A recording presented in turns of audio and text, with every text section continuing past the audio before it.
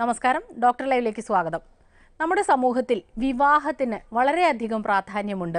കുടുംബത്തിന്റെയും സമൂഹത്തിന്റെയും ഒരു രാജ്യത്തിന്റെ തന്നെയും നിലനിൽപ്പിന് ആധാരം കുടുംബമാണ്. അത് ദാമ്പത്യത്തിൽ തുടങ്ങുന്നു എന്നാണ് നമ്മുടെയൊക്കെ ഒരു കൺസെപ്റ്റ് ദാമ്പത്യ ജീവിതത്തിൽ ഉണ്ടാകുന്ന മാനസിക പ്രശ്നങ്ങളെക്കുറിച്ചാണ് ഇന്നത്തെ ഡോക്ടർ ലൈവിലൂടെ.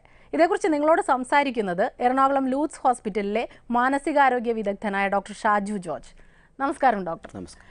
ഡോക്ടർ നമ്മൾ ദിവസവും കേട്ടുകൊണ്ടിരിക്കുന്നതാണ് ദാമ്പത്യ ജീവിതത്തിൽ ഒരുപാട് പ്രശ്നങ്ങളുണ്ടെന്ന്. അത് സ്ത്രീയുടെ ഭാഗത്തു നിന്നായാലും പുരുഷന്റെ ഭാഗത്തു നിന്നായാലും ഇറസ്പെക്റ്റീവ് ആണത്.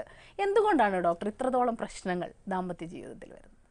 മറ്റേത് മേഖലയും പോലെ വ്യക്തതയുള്ള ഒരു ട്രെയിനിങ് അല്ലെങ്കിൽ ഒരു പഠനം ആവശ്യമുള്ള പഠനത്തിന് ശേഷം മാത്രം പ്രവേശിക്കപ്പെടേണ്ട ഒരു ഇൻസ്റ്റിറ്റ്യൂഷനാണ് വിവാഹം അല്ലെങ്കിൽ ദാമ്പത്യം എന്ന് പറയുന്നത്. പക്ഷേ നമ്മുടെ നാട്ടിൽ പ്രത്യേകിച്ചും അതിനുള്ളൊരു മുന്നൊരുക്കം അല്ലെങ്കിൽ അല്ലെങ്കിൽ എഡ്യൂക്കേഷന്റെ പോരായ്മ വളരെ വ്യക്തമാണ്. അപ്പം വ്യക്തമായിട്ടുള്ള വിദ്യാഭ്യാസമില്ലാതെ വ്യക്തമായിട്ടുള്ള ട്രെയിനിങ് ഇല്ലാതെ ഏത് ജോലി ചെയ്യുമ്പോഴും പറ്റാവുന്ന തെറ്റുകൾ വളരെ ശക്തമായിട്ട് തന്നെ വിവാഹ ജീവിതത്തിൽ അല്ലെങ്കിൽ ദാമ്പത്യ ജീവിതത്തിൽ നമുക്ക് ഉടനീളം കാണാവുന്നതാണ്. ഓക്കെ ഡോക്ടർ ഇപ്പം മുൻകാലങ്ങളെ അപേക്ഷിച്ച് പുതിയ തലമുറയിൽ പല പ്രശ്നങ്ങളും അതായത് ഡൈവോഴ്സിൽ വരെ വിവാഹമോചനത്തിൽ വരെ എത്തി നിൽക്കുന്നതായിട്ട് കാണുന്നുണ്ട് പല പ്രശ്നങ്ങളും. വിവാഹമോചനത്തിന്റെ റേറ്റ്സും കൂടി വരുന്നു എന്നാണ് കണക്കുകൾ. ഇതിന്റെ ഒരു കാരണം എന്തായിരിക്കും? വിവാഹമോചനം പൊതുവെ മുൻകാലങ്ങളെ അപേക്ഷിച്ച് പ്രത്യേകിച്ചും കേരളത്തിൽ വളരെയധികം അധികമായിട്ട് റിപ്പോർട്ട് ചെയ്യപ്പെടുന്നുണ്ട്.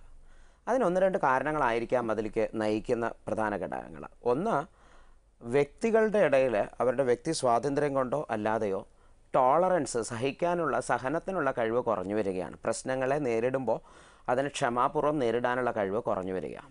രണ്ട് അവർക്ക് അവരുടെ അവകാശങ്ങളെപ്പറ്റി നല്ല ബോധ്യമുണ്ടാവുകയും ഉത്തരവാദിത്തങ്ങളെപ്പറ്റിയുള്ള ബോധ്യം തീരെ ഇല്ലാതിരിക്കുകയും ചെയ്യുകയാണ് ഈ രണ്ട് സാഹചര്യങ്ങളുമായിരിക്കാം അതിന്റെ ഒപ്പം തന്നെ ഫൈനാൻഷ്യൽ ഫ്രീഡവും വിദ്യാഭ്യാസവും ഒക്കെ ഇതിലേക്ക് നയിക്കുന്ന ഘടകങ്ങളായിട്ട് കടന്നു വരുന്നുണ്ടാകാം ഓക്കെ ഡോക്ടർ അപ്പം മറ്റൊരു ചോദ്യം വരുന്നത്. പണ്ടൊക്കെ ജോയിന്റ് ഫാമിലി ആയിരുന്നു കൂട്ടുകുടുംബ വ്യവസ്ഥിതിയാണ് അപ്പോൾ അതിലൊരു കുട്ടി വളർന്നു വരുമ്പോൾ പലതരത്തിലുള്ള വിവാഹ ബന്ധങ്ങൾ അവർ കാണുന്നുണ്ട്. അച്ഛന്റെ അമ്മയുടെയും മാത്രമല്ല പക്ഷേ ഇന്നത് മാറിയിട്ട് ന്യൂക്ലിയർ ഫാമിലിയാണ് ആകെ അച്ഛൻ അമ്മ കുട്ടി എന്നുള്ളൊരു കൺസെപ്റ്റ് അത് ഇത്തരം പ്രശ്നങ്ങൾക്ക് എത്രത്തോളം കാരണം തീർച്ചയായിട്ടും.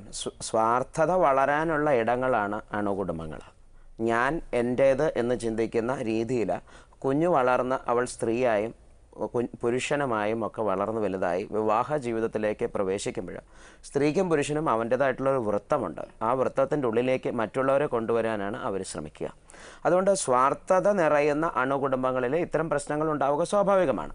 നേരത്തെ പറഞ്ഞ പോലെ കൂട്ടുകുടുംബ വ്യവസ്ഥതയിൽ പലതും കാണാനും പലതും മനസ്സിലാക്കാനും തിരുത്താനുമുള്ളൊരു വേദിയാണ് കുടുംബ ബന്ധങ്ങളിൽ പ്രശ്നങ്ങൾ ഉണ്ടാകുന്നതിൽ ഒരു പ്രധാന കാരണം നമുക്ക് മുൻവിധികൾ ഉണ്ടാവുകയാണ്. ഞാൻ എന്റെ അച്ഛനെ കണ്ടിട്ട് എന്റെ അച്ഛനെ പോലെ ആയിരിക്കണം ഒരു നല്ല ഭർത്താവെന്ന് ഞാൻ ചിന്തിക്കുകയും എന്റെ ഭാര്യ അമ്മയെ കണ്ടിട്ട് അവ അമ്മയെ പോലെ ആയിരിക്കണം ഒരു നല്ല ഭാര്യ എന്ന് ചിന്തിക്കുകയും ചെയ്യുമ്പോൾ അവരിലുള്ള കുറവുകൾ അതേപടി ഞാൻ പകർത്തുകയാണ് ചെയ്യുന്നത്. അതാണ് എന്റെ കുടുംബജീവിതത്തിലും എന്റെ ദാമ്പത്യത്തിലേക്ക് ഞാൻ കൊണ്ടുവരാനായിട്ട് ശ്രമിക്കുക. അതുകൊണ്ട് തന്നെ അസ്വസ്ഥതകൾ അപകടങ്ങൾ പതിയിരിക്കുന്നുണ്ടാകും. ഓക്കെ അപ്പോൾ മുൻവിധികൾ ഇല്ലാതിരിക്കുക തീർച്ചയായിട്ടും തീർച്ചയായിട്ടും. മുൻവിധികൾ മാറ്റുക എന്നുള്ളത് വളരെ പ്രസക്തമായിട്ടുള്ള ഒരു കാര്യം. മുൻവിധികൾ നമുക്കുണ്ടാകാം. നമ്മൾ വളർന്നു വരുന്ന സാഹചര്യങ്ങളിൽ അതൊക്കെ നമ്മളെ സ്വാധീനിക്കാം. പക്ഷേ അതല്ല ശരി എന്നുള്ള സാഹചര്യത്തിലേക്ക് നമ്മൾ എത്തിപ്പെടുമ്പോൾ ആ മുൻവിധികൾ തിരുത്തി പുതിയ കാര്യങ്ങളെ സ്വീകരിക്കാൻ കഴിവുള്ള വളരെ റിസപ്റ്റീവ് ആയിട്ടുള്ള വ്യക്തികളാകാൻ കഴിഞ്ഞാൽ ദാമ്പത്യ പ്രശ്നങ്ങൾ ഒരു പരിധി വരെ നമുക്ക് നിയന്ത്രിക്കാനായിട്ട് കഴിയും. നമ്മുടെ ഒരു കോളർ വെയിറ്റ് ചെയ്യുന്നുണ്ട് doctor. Hello? Hello hello doctor live ആണ്. സംസാരിച്ചോളൂ. ബാബു. ആ പറഞ്ഞോളൂ. ഹലോ പറഞ്ഞോളൂ. കുവൈത്ത് നിന്നാണ് ബാബു എന്നാണ് പേര്. ആ പറയൂ. ഹലോ സർ കല്യാണം കഴിച്ചിട്ട് ആ. ഹലോ കേൾക്കുന്നുണ്ട് പറയൂ. കഴിച്ചിട്ട് രണ്ടു വർഷമായി ആ. രണ്ടു വർഷത്തെ മാനസികമായിട്ട് ഞങ്ങൾ നല്ല അടുപ്പം അവിടെ കിട്ടുന്നില്ല. ആ. അതുകൊണ്ട് അതിനെന്താ ചികിത്സ ആർക്കാ കാണിക്കേണ്ടതെന്നുള്ള ഡോക്ടറായിട്ട് ബന്ധപ്പെടേന്നുള്ള ഇതിലായിരുന്നു ഇത്. മാനസികമായിട്ടുള്ള അടുപ്പമില്ല എന്നുള്ളത് നിങ്ങൾ ചികിത്സ എടുക്കേണ്ടത് കൗൺസിലറുടെയോ അല്ലെങ്കിൽ സൈക്കാട്രിസ്റ്റിനെ പോലെയുള്ള വ്യക്തികളുടെ തന്നെയാണ്.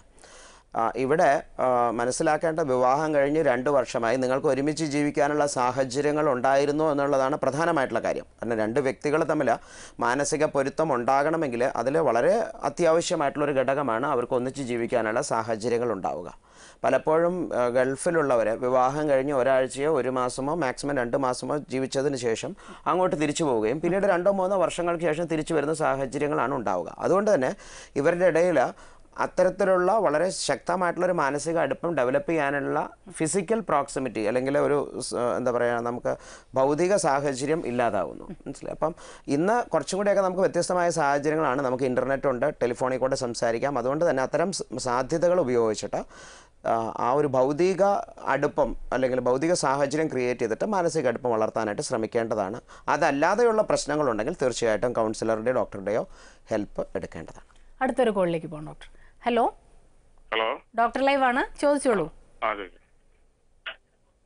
ചോദിച്ചോളൂ ഡോക്ടറോട്. ആ ഹലോ ഡോക്ടർ ഞാൻ വൈക്കം സതീഷാണ് സംസാരിക്കുന്നത്. ആ പറയൂ. ആ ഡോക്ടർ ഈ ചില ചില മതസംഘടനകൾ ഈ കല്യാണത്തിന് മുമ്പ് ഇതുപോലെ കൗൺസിലിംഗ് ഒക്കെ കൊടുക്കുന്നുണ്ടല്ലോ. ഉണ്ട്.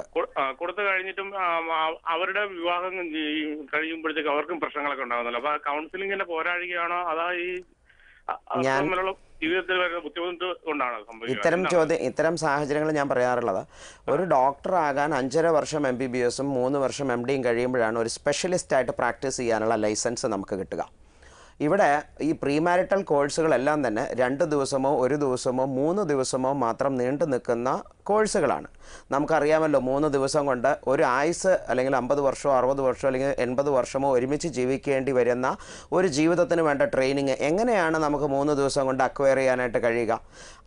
അതുകൊണ്ട് അത്തരം കോഴ്സുകൾ ശരിയല്ലെന്നോ അത് പോരാ അല്ലെങ്കിൽ അത് ഗുണം ചെയ്യില്ലെന്നോ ഉള്ള ചിന്തയല്ല ഞാൻ പറയുക.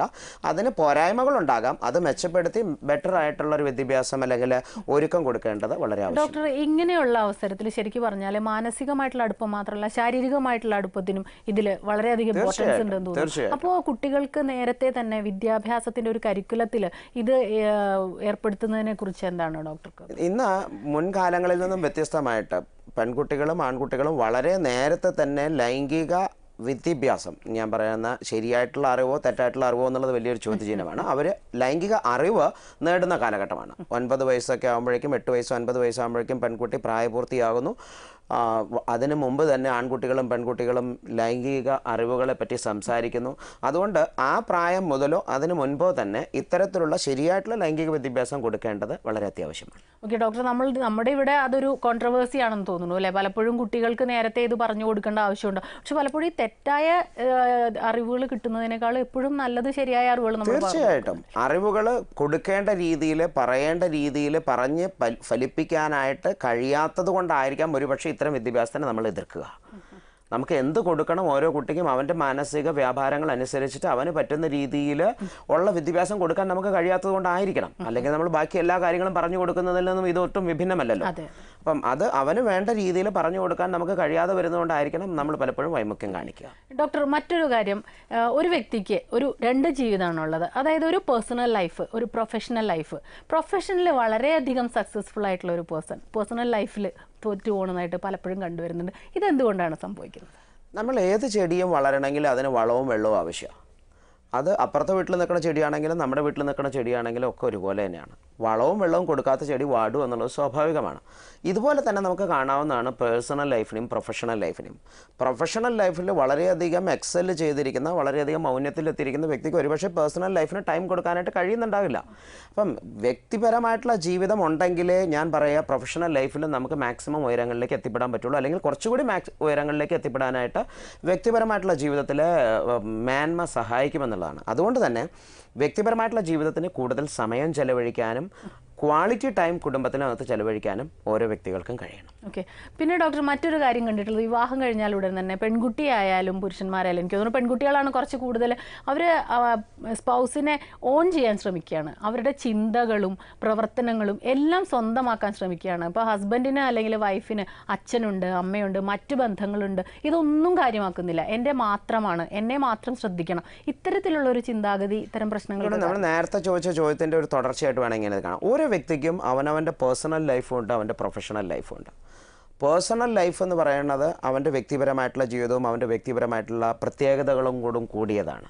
എനിക്ക് എന്റേതായിട്ടുള്ള ഒരു യുണീക്ക് ക്യാരക്ടറുണ്ട് ആ യുണീക്ക് ക്യാരക്ടർ ഞാൻ വിവാഹം കഴിച്ചു എന്നുള്ള ഒരു സ്റ്റാറ്റസ് മാറി എന്നുള്ളതുകൊണ്ട് മുഴുവനായിട്ട് മാറ്റേണ്ടതില്ല. പക്ഷേ കൂട്ട് ഒരുമിച്ച് ജീവിക്കുന്നതിന് വേണ്ടിയിട്ട് ചെറിയ ചെറിയ ക്രമീകരണങ്ങൾ വരുത്ത വരുത്തേണ്ടത് ആവശ്യമാണ്. അതിന് അപ്പുറം ഞാൻ എന്റെ ജീവിതം മുഴുവൻ മാറ്റിവെച്ചാൽ ഞാനെന്ന വ്യക്തി ഇല്ലാതാവുകയാണ്. ഇത് മനസ്സിലാക്കാൻ രണ്ട് വ്യക്തികൾക്കും കഴിയുമ്പോൾ ഇത്തരത്തിലുള്ള വളരെ ഓവർ പൊസസീവ് സ്റ്റേറ്റ് ഇല്ലാതാവുകയും അസ്വസ്ഥതകൾ കുറയുകയും ചെയ്യും. നേരത്തെ പറഞ്ഞ നമ്മൾ ചർച്ച ചെയ്ത ആ സെൽഫിഷ്നെസ്സിന്റെ ഒരു കടന്നുവരവാണ് വാസ്തവത്തിൽ ഈ ഓവർ പൊസസീവ്നെസ് കൊണ്ട് ഉണ്ടാവുക അതിന്റെ ഒരു മറ്റൊരു ദുരന്ത വശം എന്ന് പറയുന്നത് വളരെ ഓവർ പൊസസീവ് ആകുമ്പോൾ the other party is getting uncomfortable ഉള്ള ഒരു അസ്വസ്ഥത ഉണ്ടാവുകയും അതിനെ ഓവർകം ചെയ്യാനായിട്ട് മറ്റു പല ബന്ധങ്ങളിലും എസ്റ്റാബ്ലിഷ്ഡ് ആവുകയും ചെയ്യുന്ന സാഹചര്യങ്ങൾ നിലനിൽക്കുകയും ചെയ്യും. അടുത്തൊരു കോളിലേക്ക് പോകാം doctor. Hello? Hello? Hello? Doctor live ആണ് സംസാരിച്ചോളൂ ആ ശരത് സംസാരിച്ചോളൂ. ഞാൻ എന്റെ ഒരു കൂട്ടുകാരന് വേണ്ടിയിട്ടാണ് വിളിക്കുന്നത് ഡോക്ടർ. ഞാൻ പറഞ്ഞോളൂ. അപ്പോ എന്റെ കൂട്ടുകാരൻ കല്യാണം കഴിഞ്ഞിട്ട് ഇപ്പൊ അവർക്ക് മൂന്ന് വർഷമായി. ഓക്കെ. ഒരു കുട്ടിയുണ്ട്. അപ്പോ അവൻ എന്താ പറയണെന്ന് വെച്ചാ കല്യാണം കഴിഞ്ഞ് ഇത്ര നാളായിട്ടും തുടക്കത്തിലെ പെണ്ണിന് സെക്സിനോട് അങ്ങനെ ഒരു ഇതിനോട് ഒരു താല്പര്യം ഉണ്ടായിരുന്നില്ല അവൾക്ക്? അവളെ മേത്ത് തൊടുമ്പോഴും എന്തെങ്കിലും തൊടുമ്പോഴും അവളിങ്ങനെ ഭയങ്കരമായിട്ട് എതിർപ്പായിരുന്നു. ഓക്കെ. ഒന്ന് അടുത്ത് ചെല്ലാനോ ഒന്നിനും സമ്മതിക്കുന്നില്ല. അങ്ങനെ ഒരു ഇതായിരുന്നു തുടക്കത്തിലെ തന്നെ. ഓക്കെ.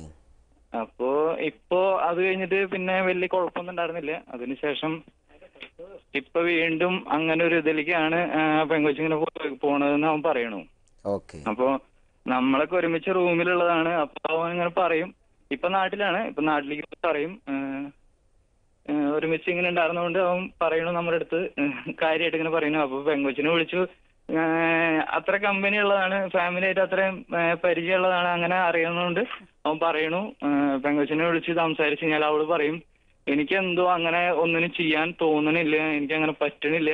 അവൻ പറയാ കിടപ്പ് അങ്ങനെ എന്തെങ്കിലും ചെയ്യാൻ ചെന്ന് കഴിഞ്ഞാലും പെങ്കൊച്ച് ഇങ്ങനെ എന്താ പറയാ ഒന്നും ഒരു ഇത് ഒരു ഇതില്ലാണ്ട് ഇങ്ങനെ വെറുതെ ഇങ്ങനെ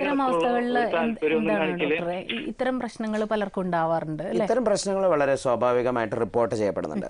ഒന്ന് രണ്ട് കാര്യങ്ങളായിരിക്കും മെഗീൻ ഇതിനൊക്കെ കാരണമാകുന്നുണ്ടാവുക. ഒന്ന് വ്യക്തമായിട്ടുള്ള അറിവിന്റെ അഭാവം. ഞാൻ നേരത്തെ പറഞ്ഞു പെൺകുട്ടികളുടെ ഇടയിൽ സെക്സിനെ പറ്റി ഒന്ന് അതൊരു ടാബു സബ്ജക്റ്റ് ആണെന്നും സംസാരിച്ചുകൂടെന്നും ചോദിച്ചുകൂടെന്നും അറിഞ്ഞുകൂടെന്നുമുള്ള ഒരു അറിയാനുള്ള ശ്രമങ്ങൾ പാടില്ലെന്നുമുള്ള ഒരു ചിന്ത വളരെ പ്രബലമാണ്. അത് മാറി വരുന്നൊരു കാലഘട്ടത്തിലാണ് നമ്മൾ എത്തി നിൽക്കുക. എന്നാലും ഇപ്പോഴും അത്തരത്തിലുള്ള ചിന്തകളുണ്ട്. അപ്പം വ്യക്തമായിട്ടുള്ള അറിവിന്റെ അഭാവം ഉണ്ടാകുമ്പോൾ സെക്സ് എന്ന് പറയുന്നത് പുരുഷൻ സ്ത്രീനോട് കാണിക്കുന്ന വളരെ മൃഗീയമായിട്ടുള്ള ക്രൂരമായിട്ടുള്ള ഒരു പെരുമാറ്റമായിട്ട് പോലും കാണപ്പെടുന്ന ഒരു സമൂഹത്തിലാണ്. അല്ലെങ്കിൽ അങ്ങനെ അങ്ങനെയുള്ള ചിന്തകളുമായിട്ടാണ് പലപ്പോഴും പെൺകുട്ടികൾ വിവാഹ ജീവിതത്തിലോട്ട് കടന്നു വരുന്നത് കുറച്ച് പേരെങ്കിലും. അതുകൊണ്ട് തന്നെ അവർക്കൊരു അവേർഷൻ അതിൽ നിന്ന് മാറി നിൽക്കാനുള്ള ഒരു ഒരു കാരണമായിട്ട് തീരാറുണ്ട്.